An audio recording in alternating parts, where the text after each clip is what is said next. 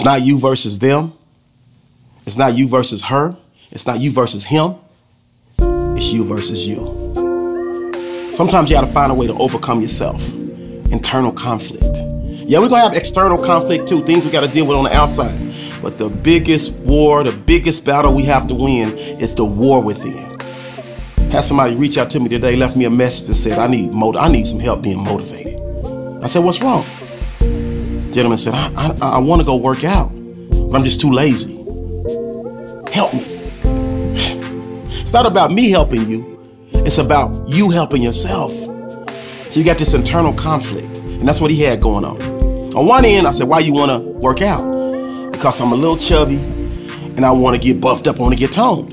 Okay, so you got one side saying, I want to work out. I know I need to work out because I, am a little chubby. I want to get buffed out, buffed up. Another side, you got the other side of your body saying, man, just stay, hey, keep eating your bonbons. Hey, we got a great TV show on this couch. It's comfortable. Let's be lazy. See, what people fail to realize is doing what feels good right now can cause massive amounts of pain later on in your life.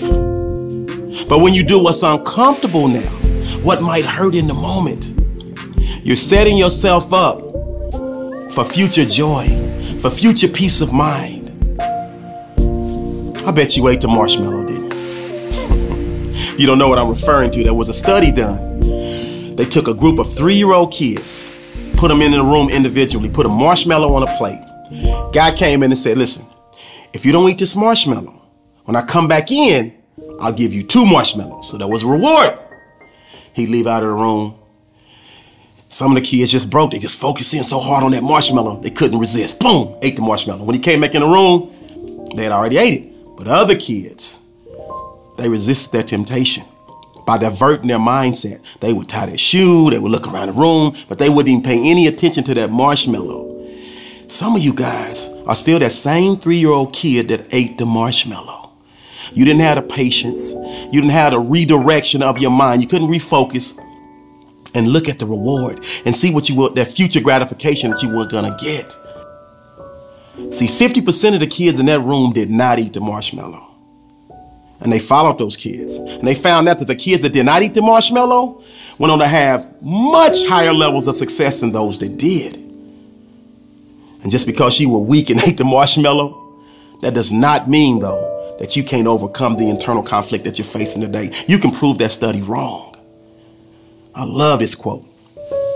It says, when the internal conflict ends, that's when the peace begins. So I need you to make decisions today that will make your future self proud. And so I told my bro, the one that said he, he was lazy, didn't want to work out, I said, listen to me. You know the reason to get up and work out. So I said, get your butt up and go work out, and then let me know how it goes. And he hit me back about a couple hours later, and he was like, Bro, I went and worked out. It was one of the best workouts I ever had. And that's what you guys forget. When you win an internal battle and you do what you know you should do, after you get it done, you feel so proud of yourself. We need to do things on a daily basis to make ourselves proud. And once we turn one day into two, and two into three, and a week into a month, and a month into a year, we find ourselves winning those internal battles. And when you can win the daily internal battles, you set yourself up to win in your everyday walk with life. It's all about overcoming inner conflict, winning that war within.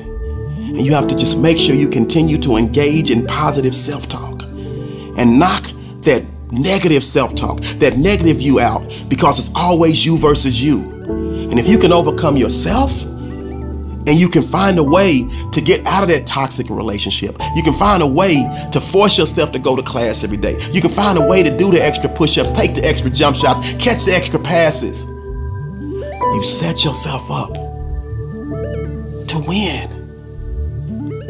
So remember, it's you versus you. And you have the power to release yourself from that mental prison. You have the power to win every inner conflict, internal battle that you face within yourself. And once you do that, you find yourself climbing the hump and making each and every day of your life a WINSday. This is a great day to win. Let's go.